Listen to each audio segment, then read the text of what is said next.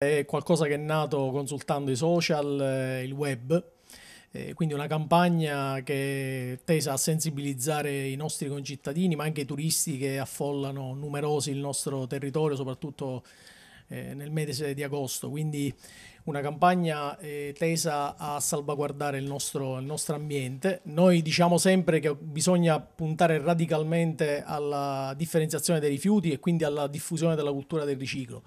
Per farlo bisogna eh, ricordare alcune regole elementari e ricordare soprattutto che eh, quando si disperdono nell'ambiente alcuni materiali, questi per la eh, loro eliminazione richiedono molti anni, se non addirittura anche dei secoli. E questo noi con questa iniziativa speriamo di sensibilizzare appunto il, il popolo trapanese, ma non solo, al rispetto dell'ambiente.